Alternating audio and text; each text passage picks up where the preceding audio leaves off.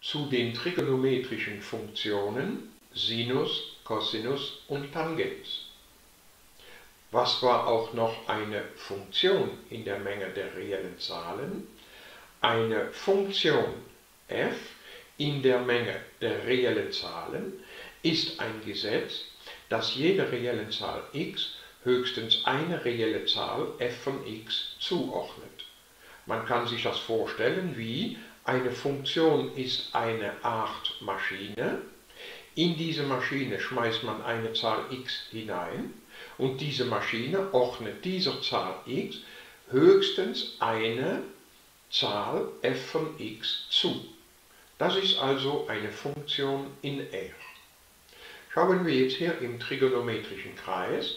Hier ist der Zentriwinkel x eingezeichnet und dieser Winkel x in Radiant ausgedrückt entspricht die Länge von diesem eingeschlossenen Kreisbogen geteilt durch den Radius. Also dieser Winkel x in Radiant ausgedrückt, das ist die Länge von diesem hellgrünen Bogen hier geteilt durch den Radius 1. Also x in Radiant ausgedrückt, das ist die Länge von diesem grünen Bogen. Deshalb nennt man die Winkeleinheit Radiant auch das Bogenmaß. Und das Maß dieses Bogens hier, das habe ich hier in diesem Bezugssystem maßstabgerecht hier eingezeichnet. Wir können das schön sehen, wenn ich hier per Schieberegler die Öffnung von diesem Winkel verändere, dann ändert selbstverständlich auch die Länge von diesem Bogen und dementsprechend verändert sie sich auch hier. So, wir können links schön beobachten, der Bogen wird länger und diese Strecke, diese hellgrüne Strecke, die dieser Bogenlänge entspricht, wird dann selbstverständlich auch länger. Wenn wir den Bogen zum Beispiel so einstellen, dass er einen Halbkreis bildet, ich versuche mal das ungefähr so hinzukriegen, so, dann muss die Länge von diesem Kreisbogen also der halbe Kreisumfang sein, das heißt Pi mal Radius. Da der Radius aber 1 ist, muss die Länge von diesem Bogen Pi sein. Pi ungefähr 3,1416. Das entspricht hier genau dieser Zahl Pi in der Zeichnung. Da ist die Einheit 1, 2, 3 und noch ein ganz bisschen. Okay, wir stellen jetzt den Bogen hier wieder zurück und ordnen diesem Winkel x seinen Sinus zu. Diesem Winkel x wird also diese Zahl Sinus x zugeordnet. Und solch ein Zuordnungsgesetz ist eine Funktion. Der Sinus kann also als eine Funktion angesehen werden. Es ist die Funktion, die jedem Winkel x, hier in Radiant ausgedrückt, den Sinus von x zuordnet. Wir sind es gewohnt, Funktionen so einzuzeichnen, die Zahl, die man in die Funktion hineinschmeißt, die zeichnen wir als Abszisse x ein. Und die Zahl, die dann hier herauskommt, die zeichnen wir als Ordinate y ein. Diese Ordinate y hier ist also nichts anderes als der Sinus von dieser Zahl x. So entsteht ein Punkt des Graphen von der Funktion Sinus. Wenn wir jetzt hier den Winkel x verändern, dann sehen wir ganz deutlich, dass dieser Sinus hier jeweils dem entsprechenden Winkel x zugeordnet wird.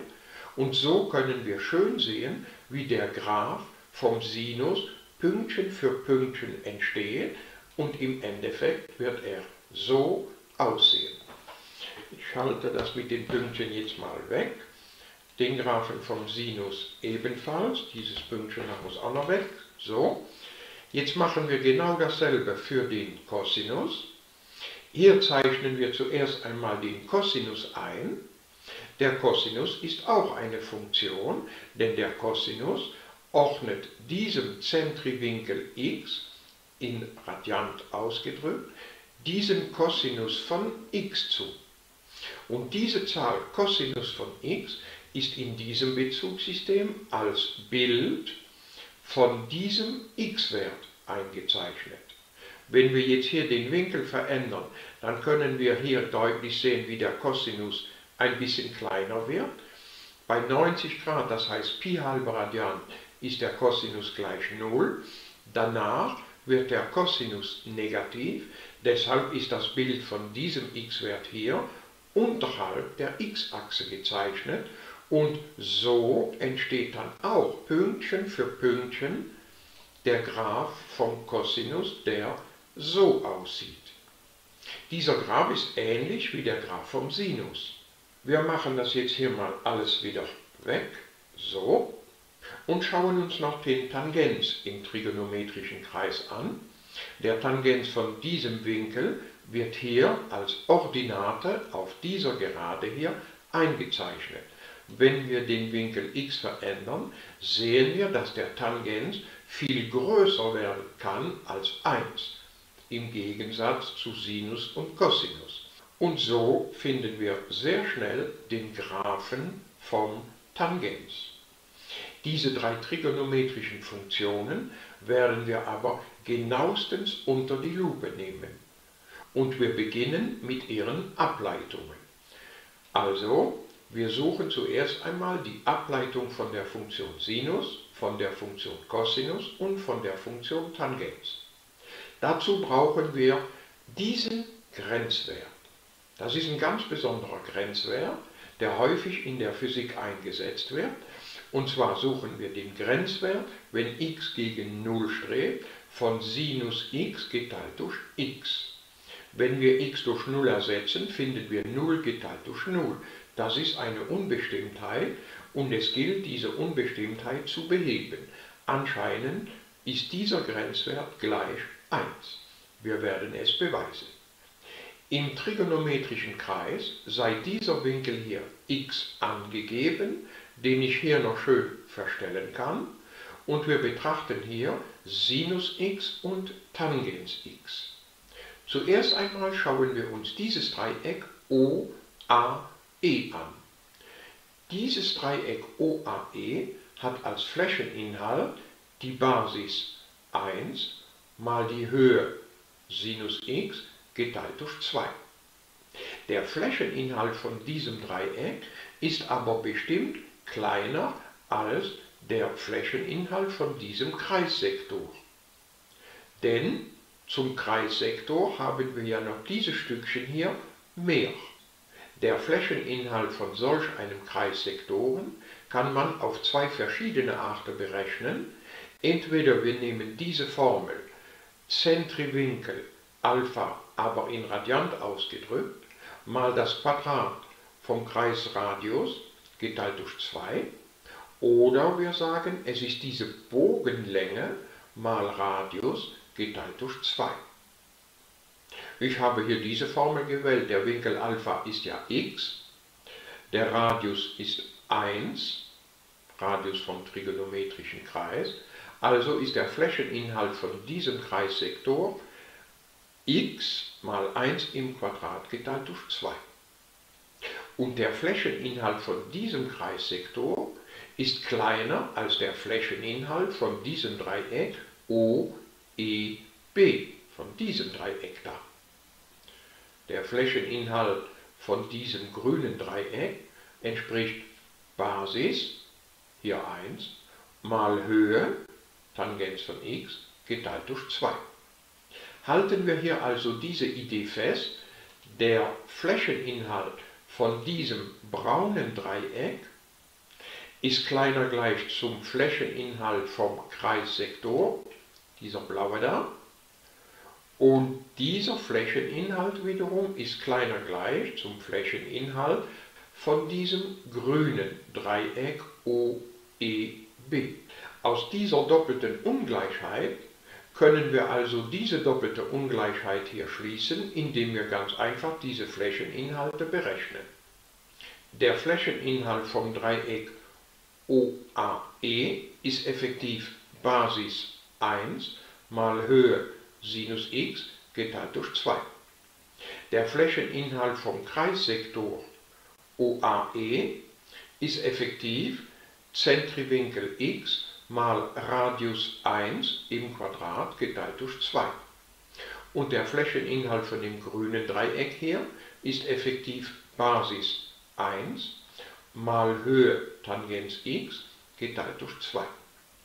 Diese doppelte Ungleichheit hier können wir selbstverständlich mit 2 multiplizieren und finden so diese Erkenntnis, dass der Sinus von x kleiner gleich zu x selbst ist und diese Zahl x wiederum ist kleiner gleich zu Tangens von x.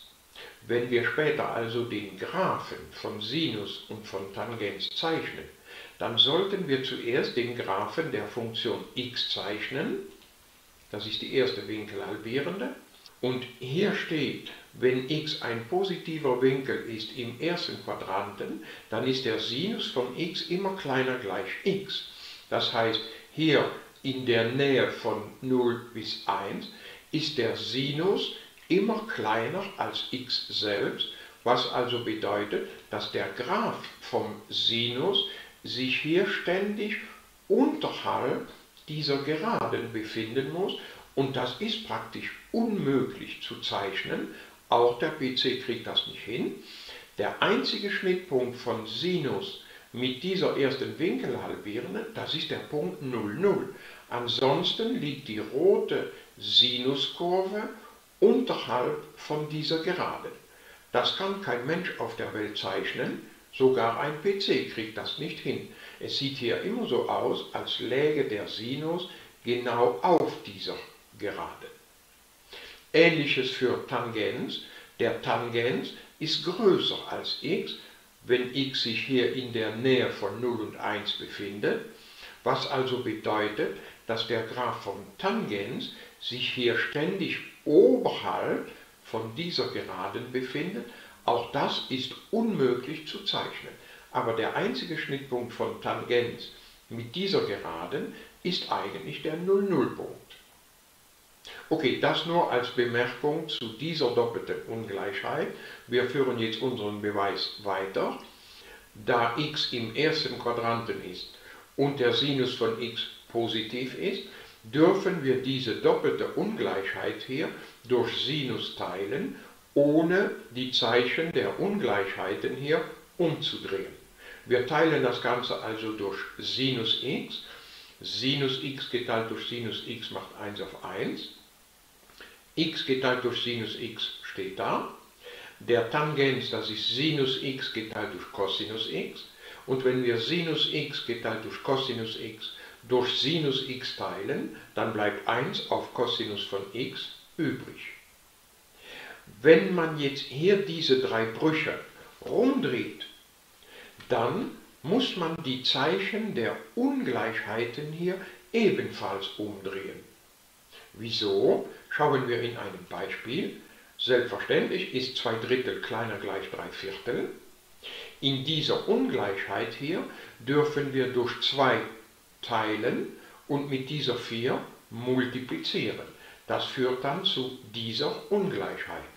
Die 2 von da oben steht jetzt da unten und die 4 von da unten steht da oben. Und da diese zwei Zahlen positiv sind, müssen wir dieses Zeichen nicht umdrehen.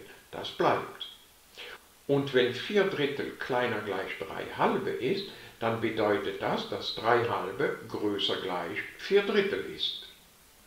Wenn wir jetzt hier die mittlere Etappe mal weglassen, dann sehen wir, dass wenn man zwei Brüche in einer Ungleichheit einfach umdreht, wir kehren die Brüche um, zwei Drittel wird zu drei halbe und drei Viertel wird zu vier Drittel, dann muss man das Zeichen der Ungleichheit auch umdrehen.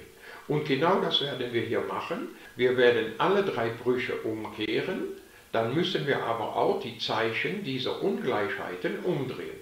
So, ist gemacht.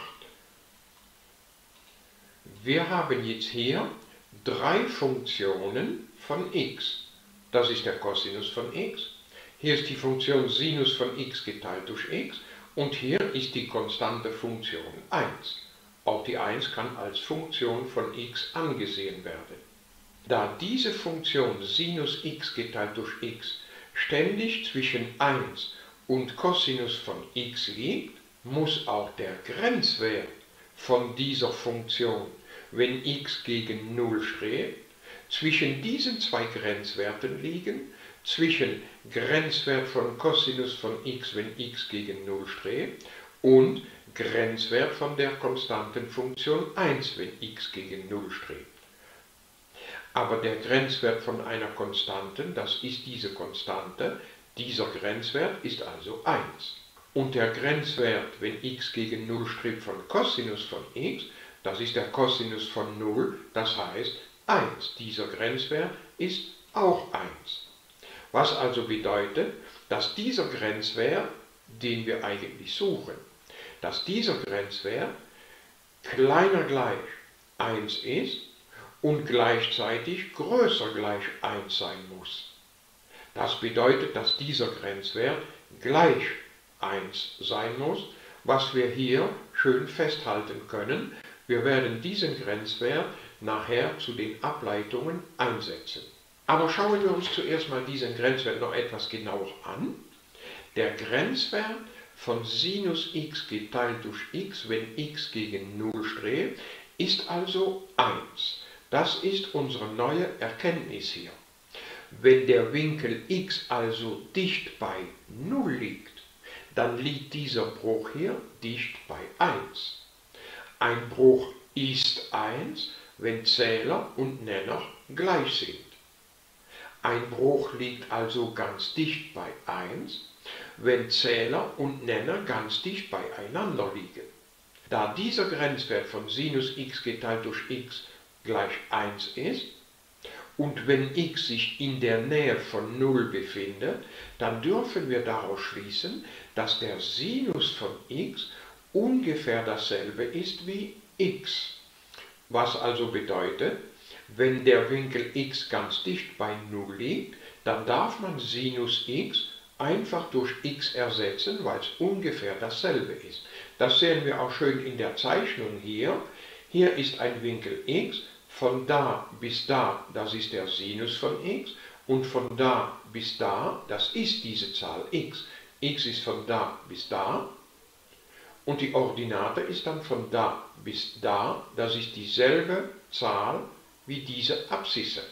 Wenn wir jetzt x etwas dichter an 0 nehmen, dann sehen wir, dass die Differenz zwischen Sinn x und x kleiner wird. Sie wird kleiner und kleiner und wenn x dicht genug an 0 liegt, dann sieht man hier überhaupt keinen Unterschied mehr zwischen Sinus x und x. Und deshalb erlaubt der Physiker sich, bei kleinen x-Werten den Sinus von x einfach durch x zu ersetzen. Zum Beispiel macht der Physiker das bei der Untersuchung eines Pendels. Bei einem Pendel nennt der Physiker den Winkel zwischen Gleichgewichtslage und der Position der schwingenden Masse x. Und wenn dieser Winkel x klein ist, dann ersetzt der Physiker effektiv den Sinus x einfach durch x. Die Beobachtungen eines Pendels haben den Physiker dann zu dieser Formel geführt, die Schwingungsdauer von einem Pendel ist gleich zu 2 mal Pi mal die Quadratwurzel der Pendellänge von da bis da geteilt durch Fallbeschleunigung g 9,81 Meter pro Quadratsekunde.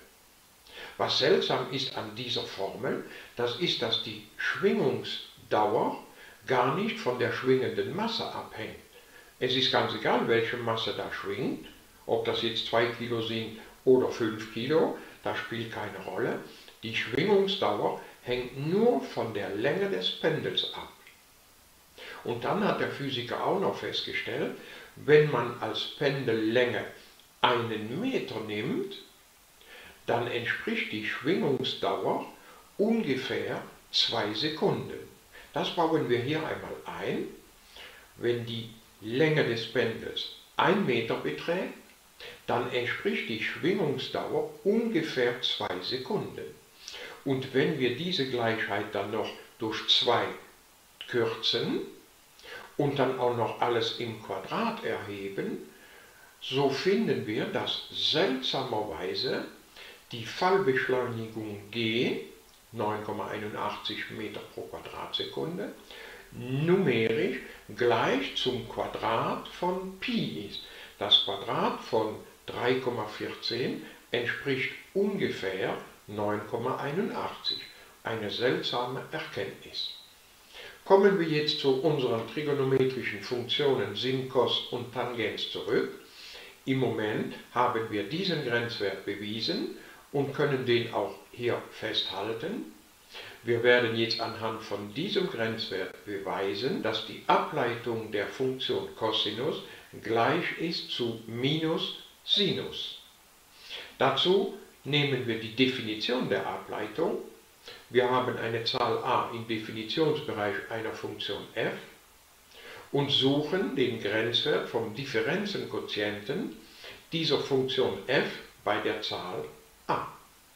Falls dieser Grenzwert eine reelle Zahl ergibt, sagt man, die Funktion f sei differenzierbar oder auch ableitbar. Und diese reelle Zahl bezeichnet man dann mit f' von a.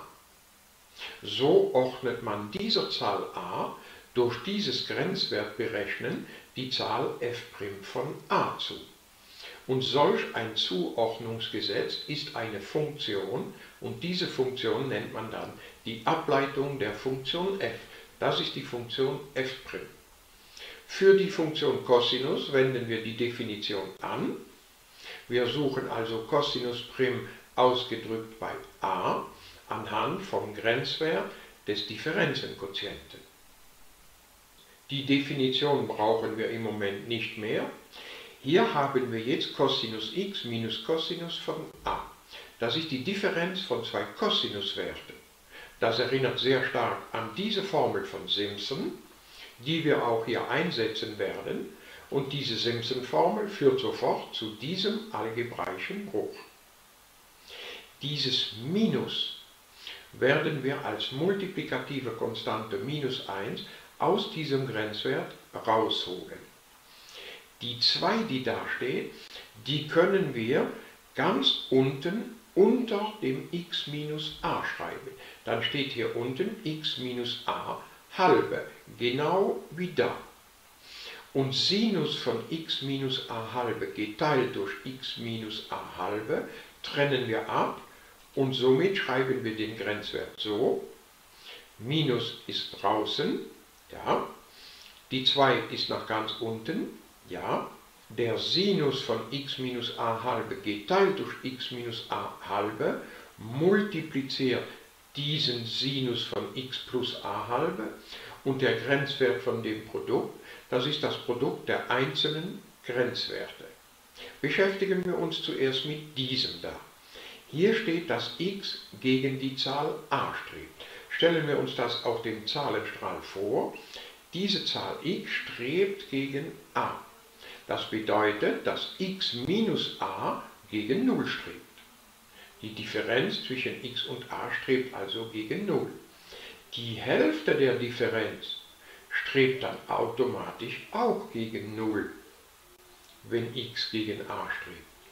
Also können wir sagen, x strebt gegen a ist äquivalent mit x minus a strebt gegen 0 und das wiederum ist äquivalent mit x minus a halbe strebt gegen 0. Also können wir hier schreiben, das ist der Grenzwert, wenn x minus a halbe gegen 0 strebt, von Sinus x minus a halbe geteilt durch x minus a halbe. Und dieses x minus a halbe, das dann da steht, da sowie auch da, ersetzen wir durch den Buchstaben klein t und dann führt dieser Grenzwert automatisch zu diesem Grenzwert aber dieser Grenzwert entspricht genau dem Grenzwert, den wir eben hier bewiesen haben. Dieser Grenzwert ist gleich 1. Also, dieser Grenzwert ist 1. Diesen Grenzwert finden wir ganz einfach, indem wir hier x durch a ersetzen. Dann steht da Sinus von a plus a geteilt durch 2. Das heißt Sinus von 2a geteilt durch 2. Das heißt Sinus von a. Der Grenzwert von Sinus von a, das ist diese Konstante Sinus von a. Was steht hier insgesamt? Da steht 1, da steht der Sinus von a und dann steht davor noch das Minus. Insgesamt steht da also minus Sinus von a. Wir haben somit bewiesen, dass cos prim ausgedrückt bei der Zahl a minus Sinus ausgedrückt bei der Zahl a ist. Jetzt verallgemeinern wir und ersetzen a durch x und finden somit, dass cos prim von x dasselbe ist wie minus Sinus von x. Simpson brauchen wir im Moment nicht mehr. Um die Ableitung vom Sinus zu bestimmen, könnte man ähnlich vorgehen wie hier. Man kann es aber auch so machen. Wir suchen Sinus prim von x sofort. Wir wissen aber, dass der Sinus von x genau dasselbe ist wie der Cosinus von Pi halbe minus x. Das sehen wir deutlich im trigonometrischen Kreis. Also der Sinus von x, das ist dasselbe wie der Cosinus von Pi halbe minus x. Wir suchen also von Sinus x die Ableitung, was bedeutet, wir suchen die Ableitung von dieser Kettenfunktion Cosinus von Pi halbe minus x. Dazu haben wir die Ableitungsformel einer Kettenfunktion. Das f von x, das ist die Klammer Pi halbe minus x und die Funktion g ist hier die Funktion cos, deren Ableitung wir ja schon kennen. Um also diese Funktion abzuleiten, leiten wir zuerst cos ab, cos primis minus Sinn, drücken diese Ableitung aber nicht mit x, sondern mit f von x aus und dann multiplizieren wir das Ganze noch mit f' von x. Also so. Ableitung vom cos, das ist minus Sinn. Diese Ableitung soll aber nicht mit x, sondern mit f von x ausgedrückt werden, ist gemacht. Und das Ganze wird dann noch multipliziert mit f' von x. Das Ganze wird also noch multipliziert mit der Ableitung von dieser Klammer Pi halbe minus x. Die Ableitung von dieser Klammer ist selbstverständlich minus 1. Das Minus, das hier dann multipliziert, das kann nach vorne und hebt sich mit dem zweiten Minus auf. Und dann bleibt nur noch der Sinus von Pi halbe minus x übrig. Und im trigonometrischen Kreis sehen wir ganz deutlich, dass der Sinus von Pi halbe minus x nichts anderes ist als der Cosinus von x. Die Ableitung vom Sinus ist also der Cosinus. Okay, die Kettenfunktion brauchen wir nicht mehr. Wir suchen jetzt noch die Ableitung vom Tangens. Anscheinend ergibt das 1 auf Cos Quadrat von x. Das könnte man auch mit der Definition machen. Es ist aber hier viel einfacher zu erledigen, weil wir die Ableitung vom Cosinus und die Ableitung vom Sinus schon kennen. Und der Tangens von x ist ja nichts anderes als der Sinus von x geteilt durch Cosinus von x. Hier brauchen wir also nur noch diesen Bruch abzuleiten. Das machen wir selbstverständlich mit der Formel zur Ableitung von einem Bruch. Die wenden wir hier sofort an. Sin x auf cos x' macht also durch diese Formel Sin prim von x mal cos von x minus Sin von x mal cos prim von x. Sin prim von x ist aber Cosinus von x, also steht hier Cosinus von x mal Cosinus von x, das heißt Cosinus Quadrat von x. Und die Ableitung von Cosinus, das ist minus Sinus. Also steht hier minus Sinus mal minus Sinus. Das macht plus Sinus im Quadrat. So führt diese Ableitung also zu diesem algebraischen Ausdruck. Und hier erkennen wir natürlich deutlich, die Grundformel der Trigonometrie dieser Zähler ist gleich 1. Somit also Ableitung vom Tangens ist 1 auf cos Quadrat. Behalten wir hier also gut unsere vier neuen Erkenntnisse. Dieser Grenzwert ist gleich 1, cos prim ist minus Sin, Sin prim ist cos und Tangens prim ist 1 auf cos Quadrat.